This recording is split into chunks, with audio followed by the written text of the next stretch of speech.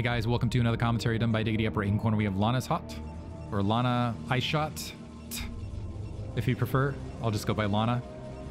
Upper right corner as the Brown Zerg. I'm also wondering if Lana is his wife. I'm not sure. I'm wondering who Lana is actually. Six o'clock location. I think it's his his wife. Six o'clock location. We have Advil as the orange Terran. Advil, a veteran in Hasu League, a fantastic player. Lana, very active in the CPL community, also a pretty solid player. Lana will, is going to have the PVT tested here as the lone Protoss in this group with three other very skilled Terran. This is on Power Bond as well, which feels like a nightmare, honestly, for Protoss in the mid game, in my opinion, because it's very, very challenging to defend against those mid game Vulture harassments where it's much, much easier for Terran to secure a third and play it either direction. Although once you start extending past that point, Arbiter drops, or Arbiter recalls, I should say, can be a solid factor. We'll see if we see either form of play. Looks like we're seeing an initial potential front door seal from Advil, which oftentimes is indicative of something more creative to start. Does open up either the opportunity to go for two factory play or put your opponent on the back foot, go factory expand. I'm actually a little bit surprised to see this, though, considering how wide Power Bond is as a map. So barracks along the front. And yeah, it looks like it's going to be potentially an initial front door seal. Assimilator warping in for Lana, not opting to go for any sort of initial two-gate play. We'll see if there's going to be an initial Zealot built or there's just going to be movement straight to Dragoon. SCV was initially looking like it might go to the top right, but it looks like it's going to be a clockwise scout, so coming across Lana's base in the final position. Unfortunately, but gas being grabbed, which means this isn't going to be a barracks into expand build on the 6 o'clock from Advil, some, for, so some sort of factory start.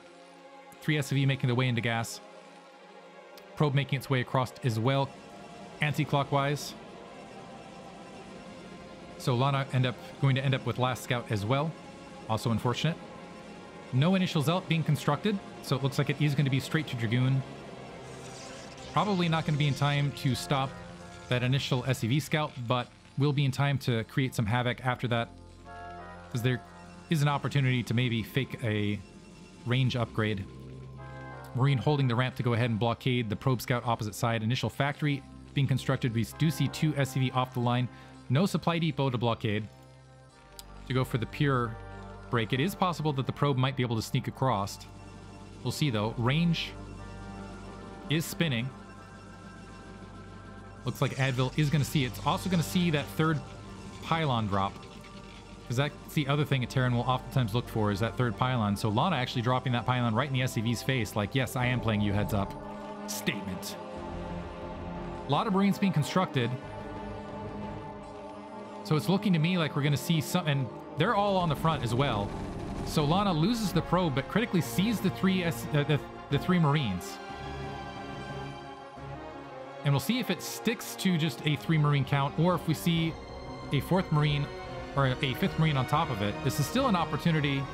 So bunker being built, still an opportunity to follow this up with a potential push play. The SCV still alive out in the main. The Dragoon actually making its way all the way to the natural expansion rather than dealing with the SCV scout. Gonna let the second Dragoon maybe do the work, but the information's been scouted. No second gateway as of yet. Nexus being constructed instead range being finished. Lana having a lot of trouble dealing with this SCV scout. Dragoon taking a lot of base damage, but is in position. I kind of like that move. In position to deal with that Vulture and keep it back. However, the Marines bullying that Dragoon back, which is going to still open up that Vulture some breathing room to make its way out. Engineering Bay being constructed to respect the Dark Templar pay, uh, play. Machine Shop being dropped as well. And I do like that Lana was prioritizing Getting these Dragoons out on the front, very, very necessary. That SCV is still alive. These Dragoons are just being straight up lazy. And that SCV might actually make it out. Probe hiding to the north. SCV moving out to check that third. I kind of like Lana's strategy potentially here. We'll see. Go for a second gateway, get the Dragoons right in your opponent's face to try to mitigate mid-game Vulture play. and then grab a quick third.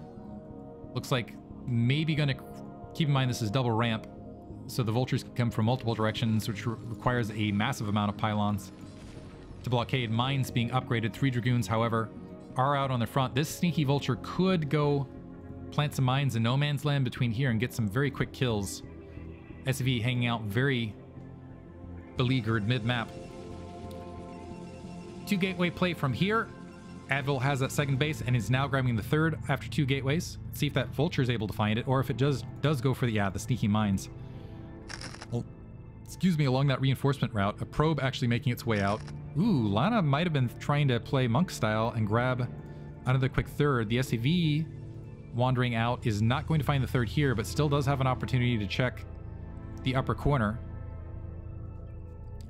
Probe wandering out, dropping a pylon defensively, maybe to see some sort of drop. Second factory being grabbed from Advil. Vulture's been spotted. Mine is going to explode, do some solid base damage, and it looks like that probe actually going to be spotted, making its way out as well. This SCV actually could be a huge hero if it just wanders out and spots this base, because that could be very critical information, or sees the this, sees the probe transfer. It was on the mini-map. I don't know if it's going to be recognized, though. I don't see any reaction from Advil in the form of additional factories or a quick third command center as of yet, though.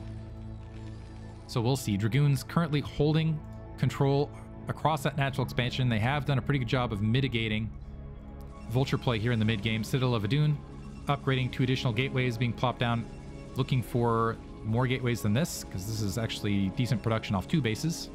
Maybe see some tech off it as well. So leg speed upgrading and a move now. Look at this move from Advil. I think he did see the trooping out there. So pushing out with the three siege tanks and marines. And I think he had enough to actually continue to push that. Five Dragoons and this versus the three siege tanks, even without siege, would have been plenty. But instead, doesn't like what he sees and backs off. Maybe because of the potential of reinforcements? Actually, uh, kind of kind of shocked. More troops being moved, more probes explicitly being moved to the top left. Surprised by that play. Academy being built. Double machine shop now. Now to unload and maybe... Yeah, siege up. Easy kill right there, and that should send Lana running.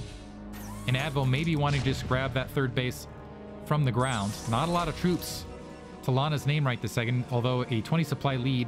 A lot of that, however, in workers. And Zealots out of position. The Zealots...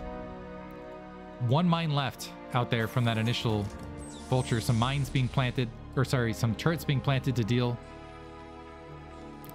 with drops, Dark Templar, and the like. Two additional factories being tacked on. Lana in a okay economic position. Looks like Lana wants to grab a fourth at the 9 o'clock.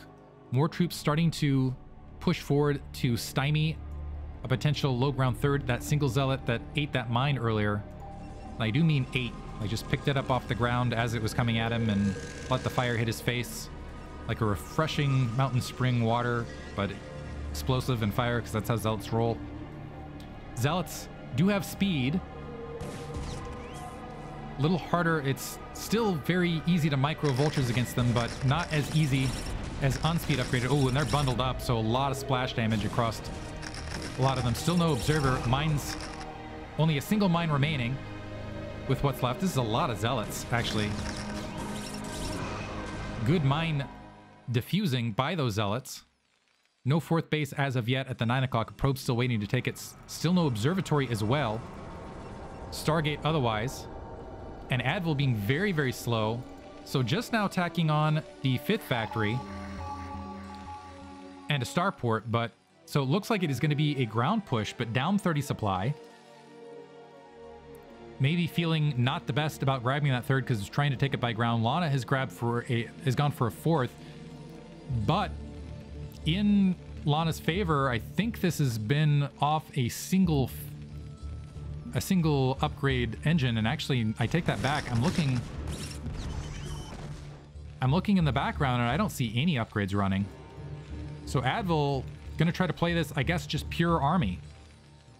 Vulture able to sweep through power bond Ooh, and these probes exposed, making their way upper left, which will reveal some, it looks like Yeah, well, actually, no. So they didn't attack the probes, so they are to be able to sneak across. They'll find the base. The probes wandering back out, unfortunately. Two of them losing their lives on bad orders there, it looks like. The Vulture's still going to be dispatched. But Lana with a very strong economy now. Okay, there is plus one weapons. Where is it? Okay, it's just under here. There's the armory, hidden behind the wall and the natural expansion. So there, there is a single factory, or a single armory, but no double armory to run with here. So I presume this is going to be a sooner rather than later push. In fact, we're seeing it right now. Some Dragoons and some Zealots on the opposite flank. How many gateways do we have to work with? We got three gateways, two more coming online a scout being built. Single Goliath on the front, the Zealots marching forward. A lot of tanks have not been sieged, so they should be able to dispatch the Zealots fairly easily. Big mine on the Dragoons, taking them some Marines with it, but well worth it. And there's still six siege tanks remaining. Supply counts even, which puts Advil theoretically ahead, but Advil needs to make a move on and start wiping something out if he just sits. Lana should, with this economy, be able to resupply very, very easily. And right now, he's holding. Still hasn't grabbed his third. And hasn't really started assaulting any of these bases. Which is a huge mistake here. So wiped out the attack forces, reset the supply counts to even. We've got a scout out, by the way. Which actually might play pretty well uh, another probe wandering. What's with the probes for Lana that are like, yes, I want to die? To Vulture play.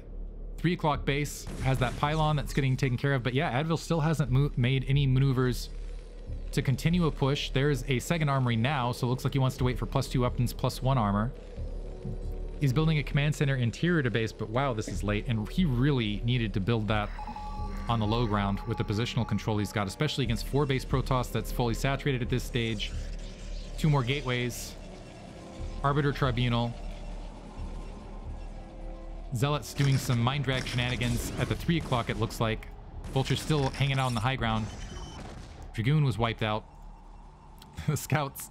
So I guess where Vultures run free, the scouts are going to run around and be annoying. A decent attack force mid-map. But Lana pretty well shelled up here and in a position to go ahead and grab another Nexus at the 10 o'clock location just needs to, yeah, keep the gateway count up, keep macroing up. High Templar joining the fray. I like to see that. Psystorm, Khaydarin Amulet. I assume Psystorm's already finished. Advil now starting to move. Is this as plus two weapons? No, this is a ways off. So kind of an off timing as well. Maybe wants to wander up and grab that third, but right now economically behind.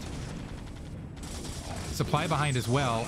Lana doesn't have a large army grouped up to engage this and is engaging on the bridge, which makes that siege shot so much stronger. Let's see if that scout wanders up. There are two Goliaths to help deal with that. The Zealots starting to march out and group up. High Templar very, very exposed on the map like this. Vultures can swing by and pick them off extremely rapidly. So Advil going to float out and try to grab this expansion. Lana checking this location for the third, but going to wander in and dive towards the natural expansion. Some mines clearing out some of the zealots, but that is going to draw a lot of the attack force back. Never mind counterattack. So Advil going to attack that 9 o'clock location. While Lana walking in some troops, loses the High Templar, not able to expend a Side Psystorm. Another High Templar exposed, also not able to drop a Side Psystorm. Killed a handful of SCVs, but lost the entirety of the army and really didn't... Honestly, SCVs did a lot of work here in the natural, defending that as well. And now the 9 o'clock base is exposed. Not the best engagement for Lana. Lana moving right back out. Advil maybe moving to the natural expansion. Tanks on siege, greeting some Goliaths and Dragoons. Nice situation. There no upgrades, by the way, on the other side from Lana, nor Arbiter support. Command Center has floated out. 9 o'clock's been opened up, so Advil starting to take control of this game. 20 supply lead for Lana, but that army all over the place and not where Advil is critically. So Advil could actually double expand and maybe even do a critical push out and grab control over that natural expansion. Single side storm over that siege tank.